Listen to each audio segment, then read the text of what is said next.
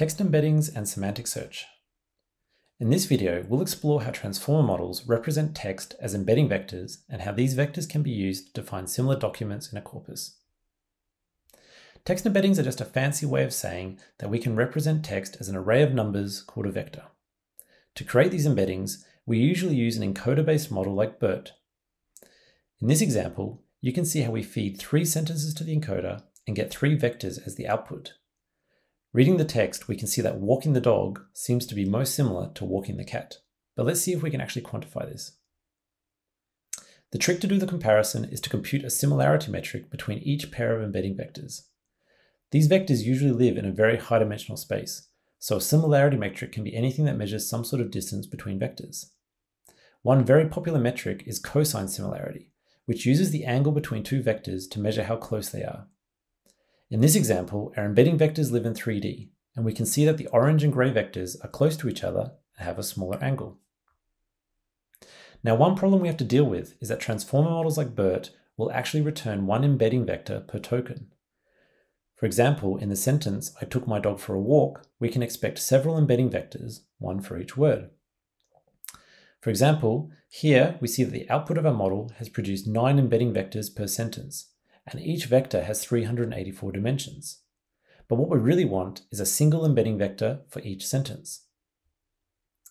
To deal with this, we can use a technique called pooling. The simplest pooling method is just to take the token embedding of the special CLS token.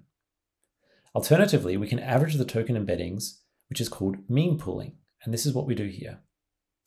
With mean pooling, the only thing we need to make sure is that we don't include the padding tokens in the average, which is why you can see the attention mask being used here. This gives us a 384 dimensional vector for each sentence, which is exactly what we want.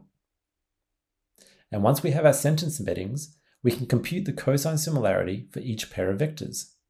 In this example, we use the function from scikit-learn, and you can see that the sentence, I took my dog for a walk, has indeed a strong overlap with I took my cat for a walk. Hooray, we've done it.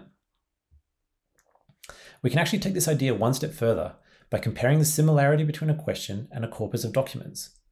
For example, suppose we embed every post in the Hugging Face forums. We can then ask a question, embed it, and check which forum posts are most similar. This process is often called semantic search because it allows us to compare queries with context. To create a semantic search engine is actually quite simple in the datasets library. First, we need to embed all the documents, and in this example, we take a small sample from the SQuAD dataset and apply the same embedding logic as before. This gives us a new column called embeddings, which stores the embeddings of every passage. Once we have our embeddings, we need a way to find nearest neighbors for a query. The datasets library provides a special object called FAISS, which allows you to quickly compare embedding vectors.